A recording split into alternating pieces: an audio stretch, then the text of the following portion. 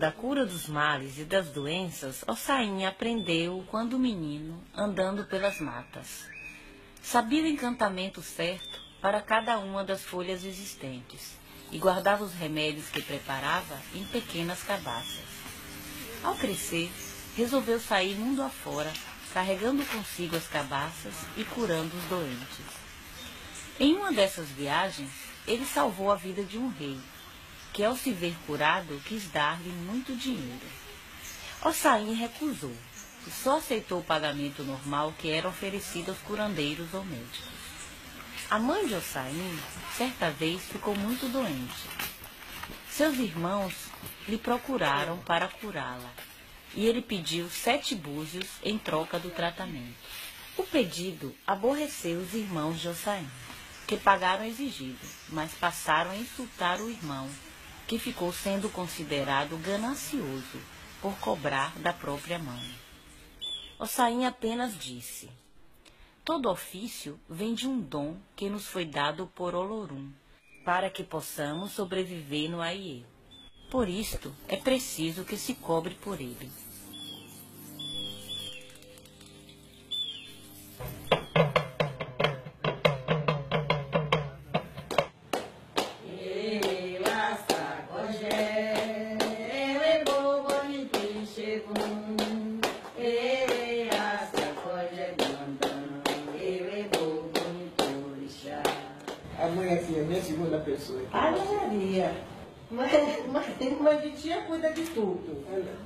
Toma, conta de tudo.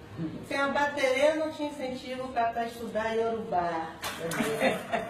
Aqui a gente diz que ela é Yorubá, Yorubá linda, eu sou Otum e a outra é Ossi. Já demos até conta pra gente.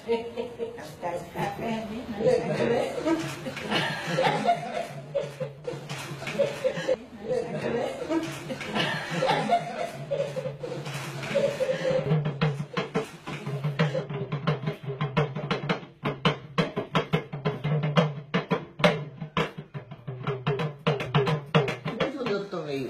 aqui, eu sou muito ligado à mãe minha. Eu a conheci duas, duas vezes ou três e era criança ainda. Mas não sei porque ela teve alguma coisa que me tocou e eu não esqueço muito dela. Não, não esqueço muito. Então, Quando ela dizia a todos aqui que ela tinha fé em Deus, que queria ver esse axé grande, porque ela comprou aqui uma roça. E construiu, ela rezava na- nas orações dela para Xangô ajudar a que ela construísse a casa dele. Que bonita. E ajudou, fez isso. Então, ela dizia que queria ver essa casa aqui construída, com todos os filhos, servindo a Xangô com o anel no dedo. O que ela queria falar na expressão dela, eu queria ver todo mundo letrado, né, sabendo das coisas e servindo a Xangô.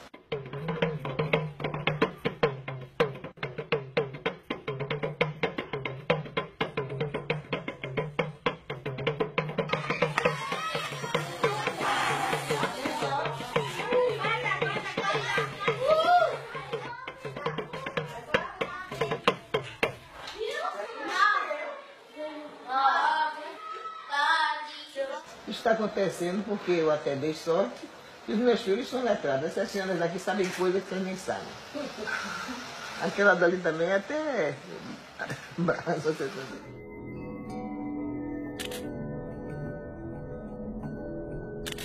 Dos seus guardados, por que agora tantos livros? É uma coisa que que até uma confissão. É, confesse aí. Fazer em público essa confissão. É. Então eu tinha mania de tudo que me passava, que eu escutava e que me interessava. Eu fiz a obrigação com 14 anos. Então eu tinha um caderninho, eu tenho um irmão de santo, de eterna memória também, Moacir, faleceu. E nós dois juntávamos muito as coisas, pensamento, e nós fazíamos, nós dois, fazíamos seminário nós dois, os dois só. Então eu tinha esse caderninho, e quando eu passei a ser irmão de santo, minhas coisas foram separadas aqui, nessa casa, então tinha um, um arquivo aí onde eu tinha meus cadernos, com tudo guardado. De vez em quando chamava uma, chamava outra para consertar, foi tudo, todas elas que eu estava inocente, pegava, muitos nem abriram direito, que é o caderno de segredos de minha mãe. Não, sabia. Mas até que apareceu uma filha de mãe já, eu chamei um dia para consertar, acertar meu arquivo, e essa moça fez a caridade, uma graça, de pegar isso tudo e codificar tudo direitinho, e juntou com outra de Xangô, e mais outra de e juntou, juntou um bloco, né? E, toda, e elas foram juntando os guardados que interessavam, porque elas são inteligentes, e viram que aquilo estava guardado ali, e que ninguém estava aproveitando nem nada, arriscado de haver incêndio e queimar tudo. Então elas fizeram esses escritos, e é o que eu transformei depois em livros. Esse livro que nós estamos vendo, eu agradeço a essas senhoras que me ajudavam aqui no, no, no, no da casa e que fizeram disso livros e tal, nós temos alguns livros escritos aí, e vai servir para a eternidade, né? amanhã ou depois que eu não exista mais, mas tem esses livros aí, que vão servir para outras pessoas. E vai dando elevação à religião também, que tem tudo escrito, tudo registrado aí direitinho. E atualmente, quem não se desenvolver, não, não, não tem nada, né? ainda mais com a internet, com a, a mídia assim, funcionando dessa forma tão brilhante, mas sem constrangimento, porque antigamente já está proibido. No tempo da escravidão era proibido a pessoa ler, escrever, estava sendo falso. Mas agora, quanto mais a gente se, se aperfeiçoa, bem melhor, porque inclusive até a gente fala qualquer coisa sem constrangimento, fala sabendo que está certo e, e os orixás nos ajudam, né? Tente falar o oposto, mãe para que não seja também, porque é imprescindível o axé dos mais velhos. Então não adianta ter um novo sabido aprendendo pela internet que não terá falência. Porque a internet está aí, tem uma faca de todos os mundos, né? Você chega lá, pá, e descobre tudo que você quer, mas não tem o axé. O que, o que vale para nós é a força da palavra, é o axé, é a energia, o enim que a gente põe para fora, e isso está com o axé do orixá.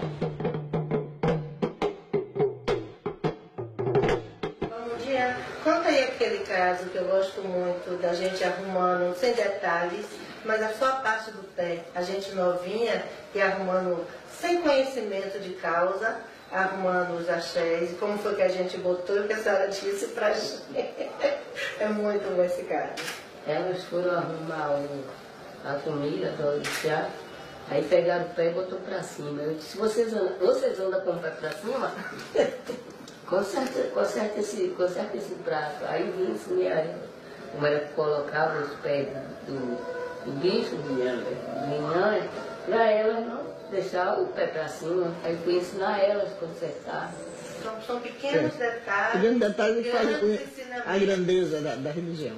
Por isso que até para fazer essa gravação, até o fim, nós ainda temos muito o que conversar no pé do orixá e dar satisfação a ele, porque estamos gravando, porque aqui não se grava nada.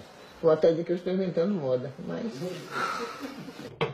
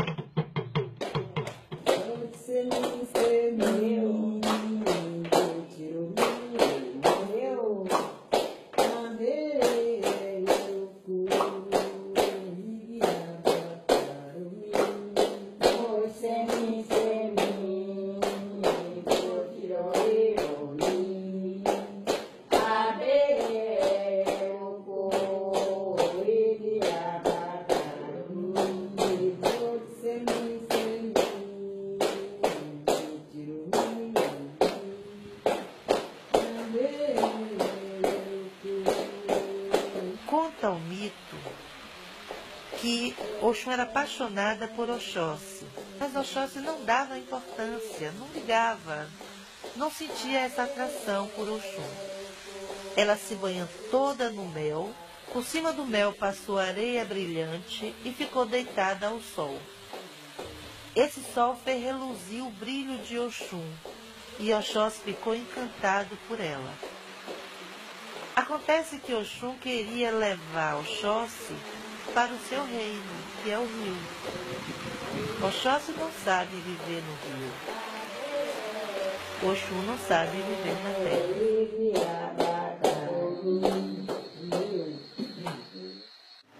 A religião africana é, foi, foi chegado, chegou para nós através de sacrifício, tudo isso, e, mas está se segurando até hoje através da oralidade. Quando eu mesmo inventei de fazer um livro aí, eu disse, o que, o que a gente não resiste, o vento leva. Gente tem que registrar porque amanhã, daqui a 50 anos, vocês estão com um artigo aí, com o material todo pronto para passar outras pessoas. E é assim nós queremos.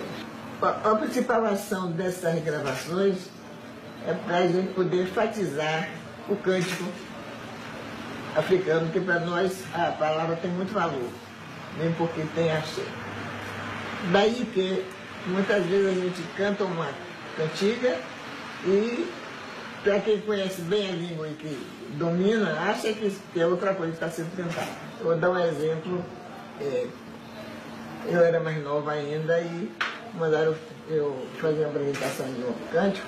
Eu fui e fiz uma cantiga de Oxóssi, onde a gente canta assim. O pe mi ma se mi dina o demo pe mi o Mo pe mi ma se mi se we mo pe mi O se ni ma se ni je. o demo pe mi o O se ni ma se ni je. Essa é a forma que deve ser cantada. Mas eu cantava, porque não, não dominava ainda, eu cantava assim. Olo ko pe mi o ae, o de ko pe mi o bua, aí pe o ko pe mi ae. É Bamibida, uma senhora muito antiga de Cachoeira, que era amiga da casa, ela disse, olha, minha presta atenção. Você cantou assim, assim, mas a palavra copeni, o co é o negativo na palavra africana. Está cantando está dizendo, Oxóssi não venha. Uma, uma simples palavra é, modifica todo o sentido.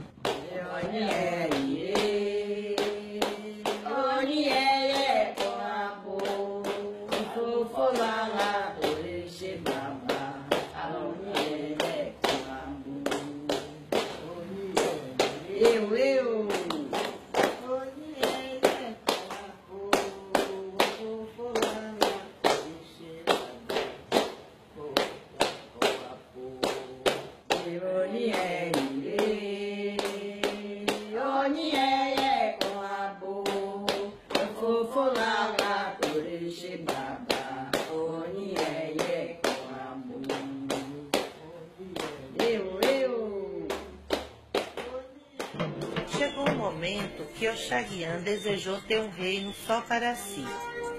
Ele convidou então seu amigo Babalaô ao Olegé, que o ajudou muito a conquistar este tão sonhado reino. Muitos anos o Olegé ficou em companhia de Oxaguian neste reino.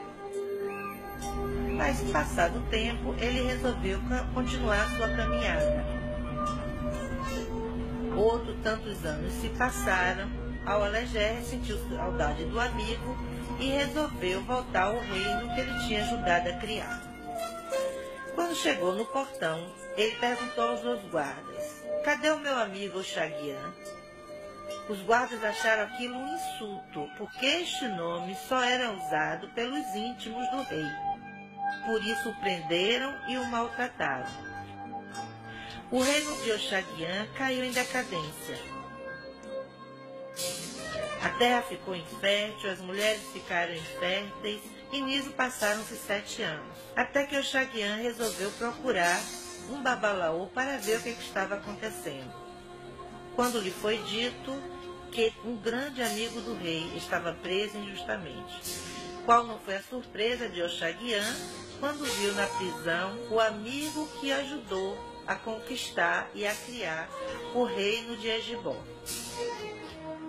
Ele implorou que eu perdoasse, que perdoasse o seu povo, até que Olegé disse: Eu perdoo o seu povo com uma condição, que uma vez por ano eles se autoflagelem com a vara de Atori, para que, se punindo, lembre-se sempre de nunca cometer injustiça e assim se sintam livres de sua culpa.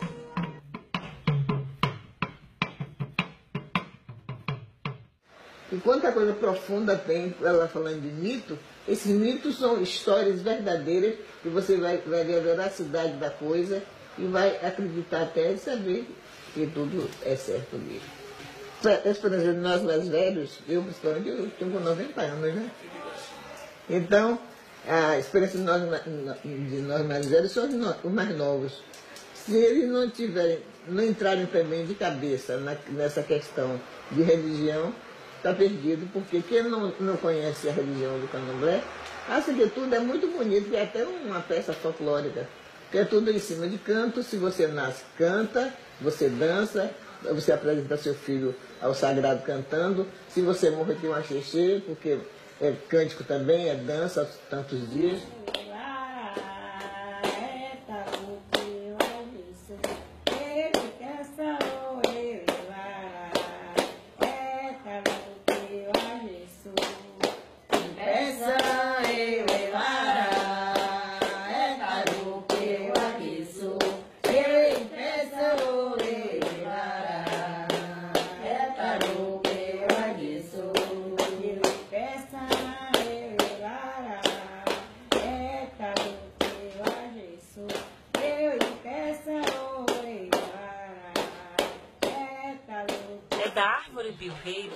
São retirados os bilros usados na confecção das rendas de almofadas.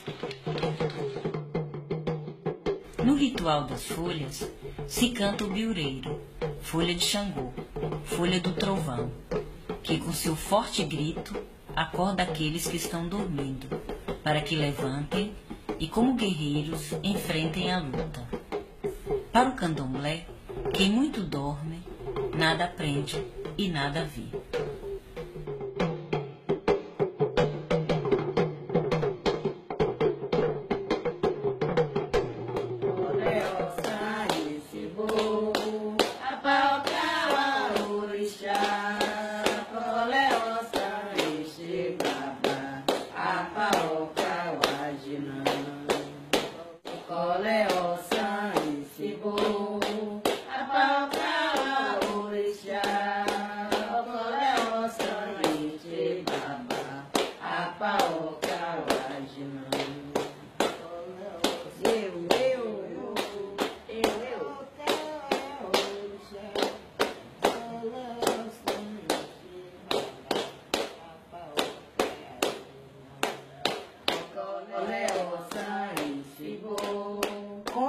Que existia três irmãs que moravam em uma cova situada abaixo de três robustos troncos de mogno africano, árvore que tem o nome de apaucá.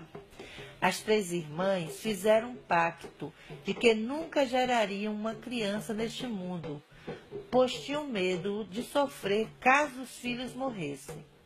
Opaucá não cumpriu o prometido. Ela se apaixonou pelo orixá Ocô e terminou por gerar um menino que recebeu o nome de Erinle.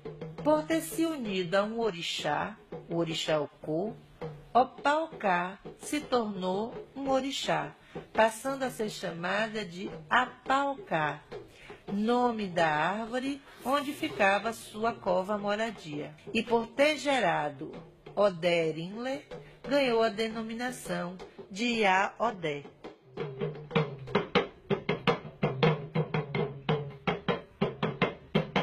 Todo mundo diz assim, Deus me livre de ser mãe de santo. Depois termina botando lá fora um terreiro. São coisas fora do, do contexto, porque a partir do momento que você entra Você está para servir. Servir da maneira que o orixá chamou. O, o religioso, quando se propõe, deve estar inteiro. Eu estou aqui no candomblé, mas estou inteira com o candomblé. Se eu fosse crente, estaria também em ter que levar a religião que você acredita e aproveita de uma forma intensa, certa, sem fanatismo, mas não deve ser fanático. Eu acredito, sei que existe, tenho provas e tudo mais. Cada um entre inteiramente na, naquela crença, na prática religiosa que adotou. E ninguém tem que combater outro, não tem religião melhor do que outra, porque todos têm um só caminho que é o divino. O divino ele tem diversos, é, chamado de diversos idiomas. É Jeová, é Cristo, é Javé, é Lorum, tudo isso. Então, aqui nós fazemos questão para isso. E também não, não temos que negar a nossa religião. Né?